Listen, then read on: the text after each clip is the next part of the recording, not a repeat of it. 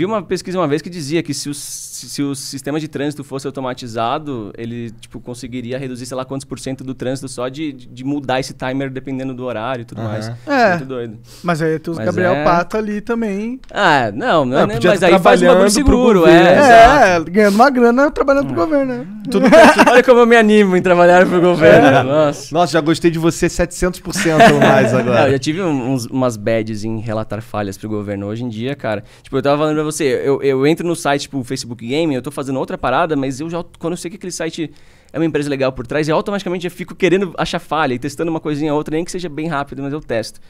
Governo, eu sou totalmente brochado de, de qualquer coisa, de tentar ajudar, por conta de uma, de, de uma parada que eu passei há 10 anos atrás, já tinha, tinha 20 anos, tinha 20 anos, 9 anos atrás.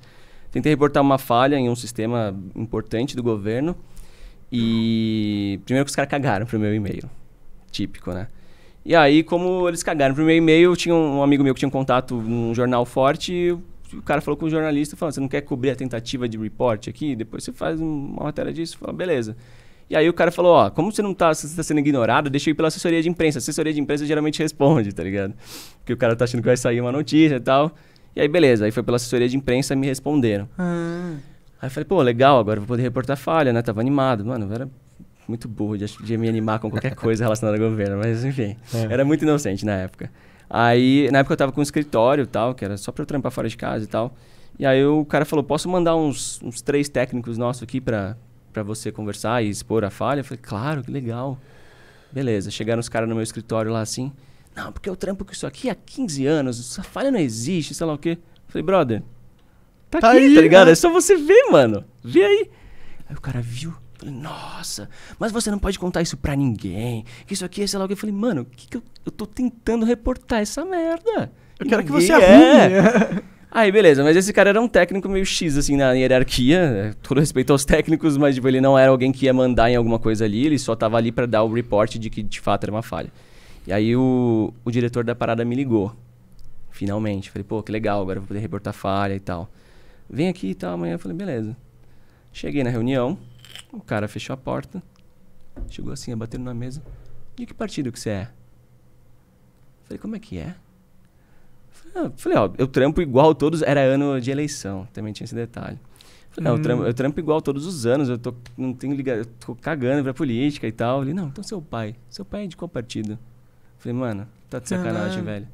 E aí, tipo, a reunião que eu achei que ele fosse pegar o meu, o meu É sempre a relatório. porra do, do, do viés errado, né, É, cara? que os total, caras velho. Total. Sim. E o moleque trouxa, Gabriel ali trouxa, tentando reportar o bagulho. O cara não recebeu meu relatório, tá ligado? Ficou nisso. Aí, beleza. Aí, é... Ele não recebeu o teu, teu relatório e tu Então, foi ele embora, recebeu é uma parte lá que já tinha mandado no e-mail inicial, que ele falou que tinha, e beleza. Ele, tipo, ficou por si mesmo, ele ficou só nessas ameaças. Aí ficou falando, não, que se, se isso aqui é o público, você vai ser processado por sei lá quem, por sei lá quem. Começou a pôr umas empresas no meio lá e Aham. falou que ia tomar no cu. Ficou meio que me ameaçando, tá ligado? É, e tentando fazer com que, tipo, eu não, que a matéria que ia sair sobre não saísse e tudo mais. Bom, é, nessa reunião eu dei meu cartão, meu cartãozinho pro cara. E a minha empresa chama Ponto Espaço Sec. Chamava, no caso, não é merchan, tá? Aliás, minto, minha empresa chama Ponto Sec tudo junto. E não, o mas cara... eu quero que tu faça merchan, Não, pô. não, não. Tu ainda empresa não tem existe essa mais. empresa? Não, Não. hoje eu faço consultoria por mim mesmo, tá ligado? Com o Gabriel Pato Então, mesmo. se tu tiver boladão e se tua empresa tem buraco, se não tem buraco, é o Gabriel Pato no Instagram, molezinha. Muito obrigado. Tu responde os obrigado. amigos no Instagram? Chame o Gabriel Responde, Pato para não responde. pagar pato. Ó. Ó, Caralho, chama o Gabriel Pato Isso, temos pra um- não temos pagar um- pato. Temos um marqueteiro aqui na mesa, velho. Depois eu sou o cara da quinta série. mas, mas gostei, parece eficiente isso foi bom. aí. ah, já, já grudou. Vai vir um cara aí, ô. lembrei daquele negócio que o Monark falou, vou te contratar. Eu não É. quero pagar o pato, mas então eu vou pagar o pato. Mas, não, mas pior que pra consultoria no Brasil, ó, galera, pra consultoria no Brasil eu já nem tô pegando mais nada, porque já tô full agendado já. Mas enfim. O cara é muito pique, irmão. Eu- O bagulho dele é internacional. Papo de ganhar real, isso aí tá Mas ultrapassado. é que eu falei, eu não gosto de, de- da parte comercial da coisa, tá ligado? E aqui no Brasil, puta, eu não gosto de ter que ir em reunião. Eu gosto de ficar em casa lá achando, as, achando os bugs. É bem mais, bem mais de boa e ganho dólar, tá ligado? E deve ser difícil reunião com o brasileiro Sim. de empresas Já passou muito sufoco nesse sentido. Tipo, relatórios para empresas brasileiras tem que explicar sempre muito mais. Você tem que sempre entender se, pô, será que eu tô dando esse relatório, mas será que alguém do time vai entender? Será que eles têm já essa cultura de receber relatório? Muitas vezes o projeto de teste é sabotado internamente porque o, o- o departamento de TI fica vendo, porra, vão contratar um moleque pra achar furo no que eu tô fazendo, sabe? E aí fica desconfortável e muitas vezes mia no- durante o processo de negociação por pressão interna. Entendi. Mas voltando ao caso do, do governo lá, né? É, bom, ele pegou meu cartão, minha empresa chama Ponto Sec tudo junto. Belo dia, me liga a, a polícia me intimando pra ir depor. Nossa. Me tratou, me trataram assim, tipo, ah, que sua empresa é fantasma, e sei lá o que. Eu falei, como é Empresa é? fantasma. Aí beleza, fui depor. É, e levei o meu, meu contrato social, tipo, tá aqui a empresa fantasma, brother. Aí o delegado, que tipo, não foi o cara, não foi o delegado que me ligou, o delegado que me recebeu super bem e tal, até porque a galera da área de crimes eletrônicos meio que todo mundo se conhece e tal, já tinha feito matéria junto com aquele delegado e tudo. E, e aí o delegado viu lá e falou, não acredito. Tipo, os caras estão falando que tua empresa é fantasma porque eles pesquisaram errado na junta comercial o nome. Caralho. E aí, por isso, assumiram que eu já já estavam metendo louco, tipo, ah, talvez ele queria extorquir a gente, a empresa. Tipo, mano, eu estou tentando reportar esta merda, sabe? E aí o cara, o advogado deles, pesquisou o nome errado. Tipo, não achou, porque ele não digitou o nome certo. Vou pra polícia. Caralho, meu meteu, Deus é, do vou, céu. vou, vou pra polícia, o cara é bandido. Que porra é essa, sabe? E no final das contas não te procuraram pra te ajudar? Cara, nada? então, vamos lá, o bagulho continuou. Aí Continuou? o, Ministério, o? Ministério Público instaurou um inquérito Caralho. contra eles, tá ligado? Ah, Porque ah, é um bagulho público e tal, eles queriam saber, e aí, o que, que vocês estão fazendo, né? Hum. Aí, mano, oito horas de audiência, velho. E eu fui sozinho. eu não- tipo, eu falei, ah, é, é contra os caras, acho que eu não preciso de advogado, né? Aham. Cheguei lá, tinha tipo quatro advogados dos caras. Eu falei, puta que pariu, será que eu precisava ter um advogado? Acho que sim. Aí começou a audiência, né? O promotor virou pros caras lá, os cinco. Falou, qual de vocês é o técnico que veio conversar com o Gabriel sobre a falha? Eles ficaram se olhando.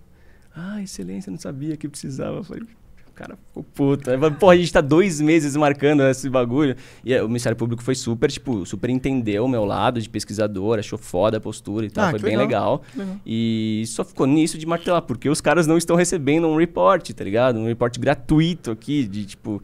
Por que foi tão difícil reportar e vocês ainda foram, tipo, pôr o moleque na, pra depor na polícia? Então eles sabe? se fuderam pra caralho no, no final das contas. Então, no final das contas, eles eh, se comprometeram, no- pelo menos pro Ministério Público, nessa audiência que eu tava, se comprometeram a corrigir as falhas em, em X, X meses. Inclusive, o promotor virou, Gabriel, quantos meses você acha que é suficiente? Eu falei, acho que uns seis. Aí, então, seis meses. Foi bem foda. Hum. Que assim, legal, Foi que bem hora. legal. E eu fiquei como voluntário do Ministério Público, caso eles precisassem de qualquer coisa de mim, validar essa história de novo, ver se corrigiram, eu voltaria. Mas eu nunca mais fui chamado. E mudou a administração também, então acho que Só. Gira junto. Não sei até Virou hoje se eles pessoa. acataram as minhas Às vezes tu recomendações. não pira de fazer assim, ah, deixa eu ver se esses caras consertaram essa porra mesmo. Um pouquinho, eu tenho uma curiosidade, mas, tipo, eu fico tão desgastado desse rolê todo. Porque, tipo, quantos dias eu não parei meu trampo pra ter que, tipo, ir, porra, ir depor, ir pra Ministério Público, sabe? Duas audiências no Ministério Público, receber os caras no meu escritório, e no- na reunião que o cara veio me meter o louco. Tipo, eu tava bem, bem tipo, mano, não quero mais saber dessa porra, tá Saco ligado? cheio já. E por ali eu aprendi que, tipo, não dá, assim, a gente não tem maturidade. O governo brasileiro, pelo menos, não sei se mudou muita coisa, confesso que acho que não, mas a gente ainda está muito distante do, do nível de que eles vão entender que pesquisadores de boa fé encontram falhas e reportam. Pra Você vê um paralelo, tipo a empresa que eu trabalho lá nos Estados Unidos, né, que seleciona hackers pelo mundo para dar testes de bug bounty. O Departamento de Defesa dos Estados Unidos foi cliente deles para estruturar um programa de recompensa por quem acha falhas no Departamento de Defesa dos Estados Unidos. É Tipo, outra mentalidade. Outra parada, velho. É outro nível. Os caras tão ligados que, pô, nós estamos em 2020. Uhum, né? É outra parada. Então, assim, tipo, se eu tenho possibilidade de ficar remoto, trampando com coisas de lá, velho, é, é melhor. É menos dor de cabeça, é menos gente querendo sabotar o bagulho, é menos politicagem, gente querendo saber se eu tenho partido político. tá E é super foda, na minha opinião. Assim, Caralho, esse moleque faz um bagulho super foda.